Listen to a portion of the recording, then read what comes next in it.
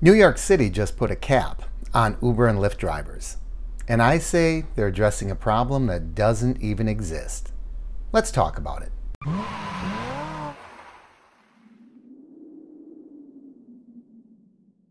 Welcome everyone, Mark here from Uber Hints, and you heard right.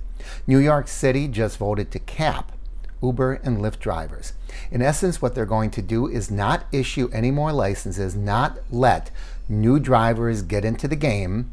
And according to statistics, if things keep going the way they are, every year 25% of rideshare drivers drop out. So what they're trying to do is allow through attrition the number of drivers to get lower and lower. Now, in this story, there are a lot of numbers, so rather than try to memorize them, I'm just going to look off screen here and share some of the numbers with you. And then I'm going to tell you why I think this is just a big, fat so what?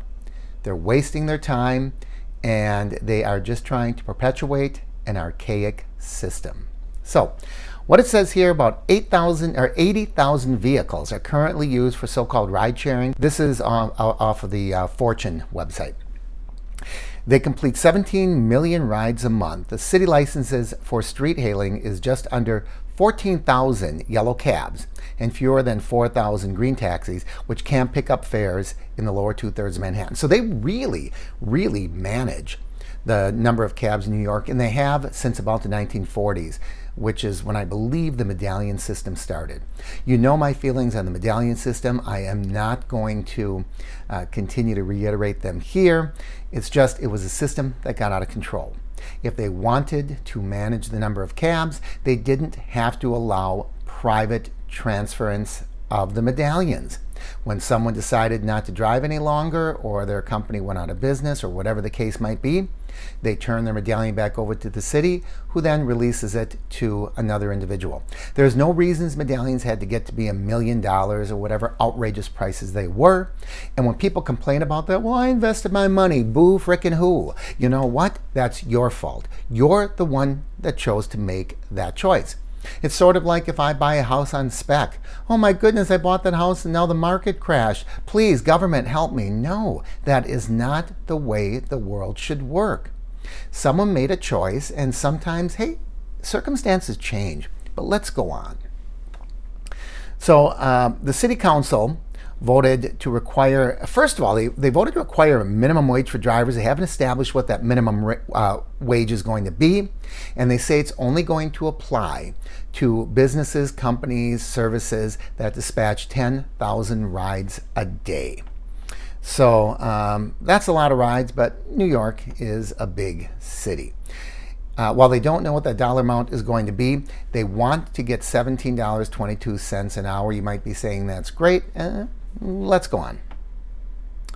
It says uh, the freeze may result in fewer vehicles on the road. It talks about the 25% attrition rate. Now, here's the flip side of it. People argue that, in, now I don't live in New York. I've been to New York a lot, but I don't live in New York, so I can't attest to this. These are just reports and things I hear. Uh, first of all, taxis will not go to areas that are perceived as undesirable areas, and that it's difficult to get a taxi in many cases if you um, are of a apparent ethnicity. You know, they, they talk about black men have a difficult time getting a cab, people of Hispanic origin. So I, I don't know. But if that's the case, maybe that's a pretty good case for having rideshare. My big point is, my thing is that have you ever been in a New York City cab? They are the most disgusting places on earth. There's dirt and filth and cigarette butts and torn upholstery and they smell and it looks like somebody's been urinating on the seat. Why do you think they're losing business? And what they want to do is artificially continue that business with their substandard service. I want to get in a nice, clean, up-to-date, modern Uber vehicle. And I wish that the city would think about letting this play out for a while.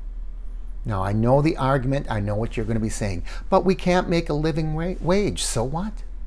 You know, everything isn't designed to be a living wage, and everything doesn't have to be. Maybe the taxi cab has run its course. You know, it's been 100 plus years that there have been motorized cabs in New York. They started with electric vehicles that didn't do so well because they were too expensive, and, and so the electric vehicles died out very quickly in the early part of the last century. And yeah, you didn't know that, did you? But guess what? It was due to competition and internal combustion engine vehicles being able to do a better job. Boy, that is a novel concept, isn't it? Another industry or another technology moving in and taking over because they can do a better job. Now, I understand you bought the medallion, but you know, that's not my fault. It certainly isn't drivers and riders' faults. I like Uber when I'm in New York because we can get an Uber car pretty quickly.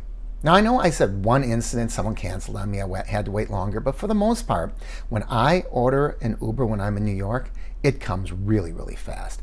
And taxis, that taxis are really subpar. They're substandard.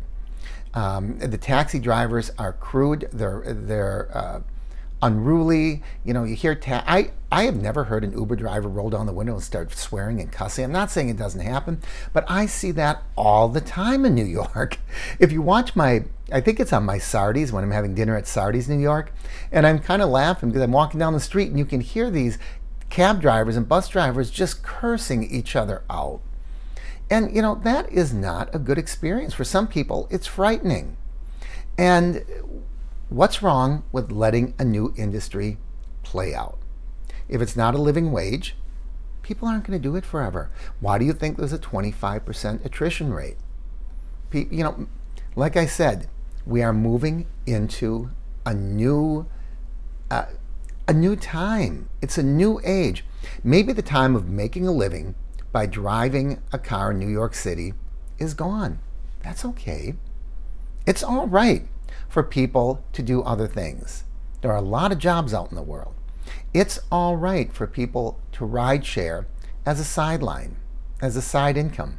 Maybe it would work better because I can get my rides quickly. I, I don't understand why they're trying to artificially prop up the taxi industry. It's an industry that's losing for a reason. It's, it's, it's losing for a reason. What's the reason? Is it cheaper rates? Is it cleaner vehicles? Is it better, quicker service? Is it more polite drivers? Probably a combination of all that. But taxis are losing for a reason. And instead of stepping up to the plate and you know going head to head the competition, they are looking to have legislation change it. I think it's wrong. I know that I'm going to get pushback on this, but I think it's wrong. At times, just let the marketplace work it out. And I know a lot of you say Uber are thieves, Uber are con people, Uber does this. I'm not going to defend Uber. But if that were really the case, the solution is really simple stop driving. Uber cannot exist if it doesn't have drivers. Right? So, but there are some of us, and I'm one of them, that I found a way to make this be profitable. I just drove today. Um, I didn't track all my hours right now. You know, I, I could look real easy on the app, but the problem is the app is a little misleading for the way I drive. But anyways, I was out for um, three segments. I went out a little in the morning, took my mid-morning break in the afternoon. Um, I drove over the from uh, just before noon hour to a little after, and then I drove during the rush and was there a terrible traffic jam today. And um, I made $202 and some cents. That's pretty good. So there is a way to make money. And I just, uh, I don't know, this whole idea of getting so up in arms because the world is changing. What if they did that with woodworkers? You know, 120 years ago, everything was made out of wood, and then the plastic industry came. What if they said, I'm sorry, we got to cap plastics. We cannot let that beast into our house. Uh, you, you, know, you're not going to let the plastic, the, the nose of the plastic camel start working its way under your tent. Before you know it, we're sleeping with the camel. Well, no, it, you know, it, what happened is largely the uh, skilled woodworker became a hobby trade. And some of us will still say, hey, I like that craftsmanship. I'll still buy from the skilled woodworker. Others say, no, I'll take the molded plastic chair. I don't care. It's the way the world works. What do you think? Am I right? Am I wrong? I'd love to hear your comments down below. As always, I love it when you share the videos, give me the thumbs up, and if you haven't already, please subscribe. I'm Mark with Uber Hints.